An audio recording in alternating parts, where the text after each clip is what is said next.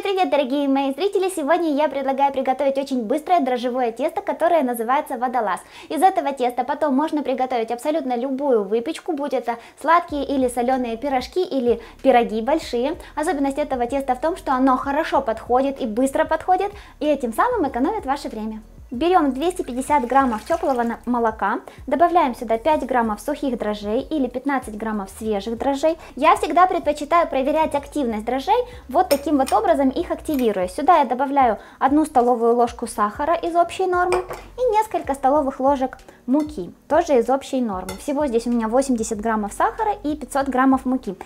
Лучше всегда вот так вот проверять дрожжи, потому что лучше вот сейчас вы убедитесь в том, что они активные или неактивные, нежели потом у вас выпечка не будет подходить, и этим самым вы потратите и продукты, и свое время. Перемешиваем. Если остаются небольшие комочки, ничего страшного. Оставляем теперь на 5-10 минут в теплом месте. Если дрожжи активные, то за это время они начнут пениться. Вот смотрите, наглядный пример того, что дрожжи активные. Посмотрите, какая пена получается. Теперь добавляем сюда чайную ложку соли без горки, одно яйцо. Нужно, чтобы яйцо и вот сливочное масло, 40 граммов сливочного масла были комнатной температуры. Добавляю 10 граммов ванильного сахара и оставшийся сахар. Всего здесь 80 граммов сахара. Если вы будете делать не сладкие пироги или пирожки, тогда ванильный сахар, конечно, можно не добавлять и уменьшить количество обычного сахара. Ложкой перемешиваем и сейчас будем постепенно добавлять муку. Всего здесь 500 граммов муки, но, как всегда, мы не добавляем всю муку, а добавляем постепенно. Сначала вымешиваем ложкой. Муки может понадобиться чуть больше или чуть меньше, это все зависит от самой муки, от размера яиц, поэтому постепенно вводим и перемешиваем, вводим и перемешиваем. Когда уже будет тяжело перемешивать вот так вот ложечкой, начнем замес руками. Вот такое получается тесто. У меня ушла не вся мука. Вот сколько у меня осталось муки. Я думаю, что она уйдет на работу с тестом. Здесь, наверное, граммов 20. Но вы лучше ориентируйтесь, конечно же, по своему тесту. Не нужно тесто забивать мукой, оно должно остаться очень мягким, нежным и податливым, но при этом хорошо держать форму. Добавляем сюда 30 граммов растительного масла и снова хорошенько вымешиваем тесто, чтобы масло впиталось в тесто. Растительное масло делает пирожки более пышными и они дольше не черствеют. Перекладываем тесто на поверхность и продолжаем замес руками. Благодаря растительному маслу тесто не будет так сильно липнуть к рукам. Вот посмотрите, какое оно чудесное получается. Вымешиваем минут 5. Вот, замечательное. Оно уже взяло в себя все растительное масло.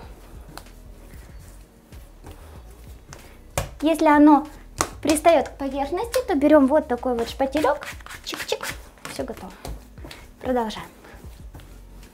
Тесто вымесили, вот такое оно получилось замечательное. Теперь берем пакет, смазываем его растительным маслом, чтобы тесто не прилипло к пакету. Тесто округляем, кладем в пакет, пакет завязываем для надежности кладем еще в один пакет, завязываем второй пакет. В миске здесь у меня очень теплая вода, но ни в коем случае не горячая. Как вы знаете, дрожжи не любят горячее, они умрут. И потом у нас пирожки не получатся. Будем топить тесто, окунаем его в теплую воду и оставляем в таком положении минут на 20, пока тесто полностью не всплывет.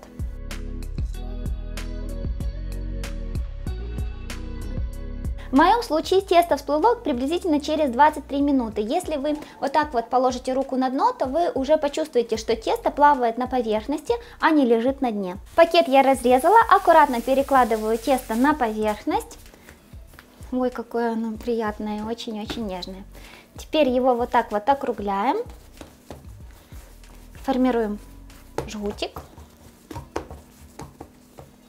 Разделяем тесто на 15 частей весом около 60 граммов каждая.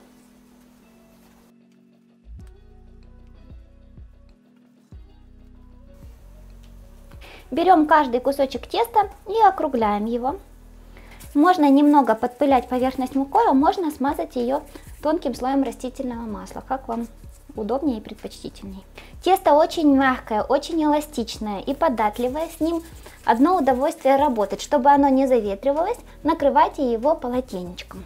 Накрываем его пищевой пленкой и оставляем в таком положении минут на 5-10, пока будем заниматься начинкой. Начинку можно сделать абсолютно любую. Я хочу сделать пирожки со сливами.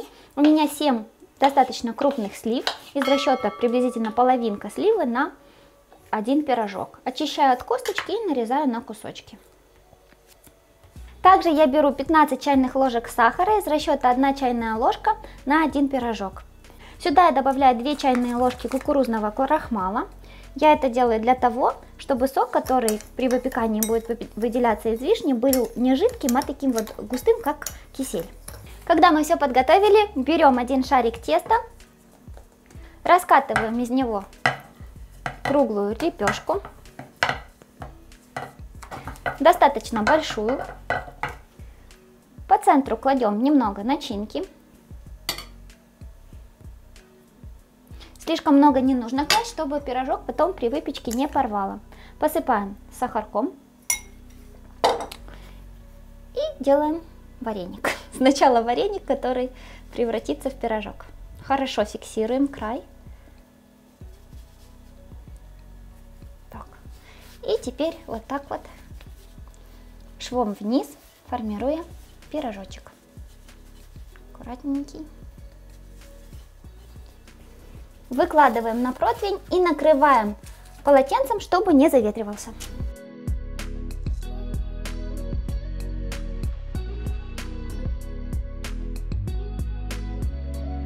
Накрываем пирожки полотенцами, оставляем в теплом месте приблизительно на 20 минут на расстойку. Параллельно прогреваем духовку до температуры 180 градусов. К желтку добавляем 2 чайные ложки воды или же молока. Перемешиваем. И сейчас будем смазывать пирожки. И вот так вот их смазываем. Они уже подошли. Время расстойки зависит от температуры в вашем помещении и может быть чуть дольше. Пекаться в духовку уже прогретую до температуры 180 градусов приблизительно на 18 минут. Ориентируемся по своей духовке.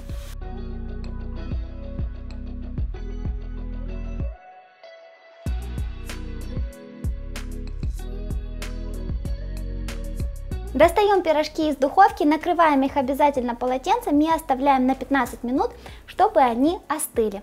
При выпечке, конечно, немного вытекает сок, у меня вытек из сливы, но это ничего страшного, на э, вкусовых качествах это абсолютно никак не сказывается. Если у вас чуть менее сочная начинка, то все будет вообще во. Или же можно сделать вот этот шов не внизу, а сверху, тогда начинка тоже не будет так сильно вытекать. Но если вы хотите, чтобы у вас прям все прям идеально получилось, то, конечно, такую сочную ягоду, как сливы, вишни, ее нужно предварительно проваривать с крахмалом и сахаром, потом охлаждать и только тогда уже накладывать в качестве начинки. Но это все достаточно длительный процесс, а мы же делали быстрое тесто водолаз, и начинка у нас тоже была быстрая. Посмотрите, какие они мягенькие, воздушные. Сейчас я разломаю один и покажу вам, какой он внутри. Посмотрите, какая здесь вкусняшка внутри. Тесто просто как пух, видите, какое вообще? И как быстро это все готовится. Раз-раз и пирожки готовы. Пора пробовать. М.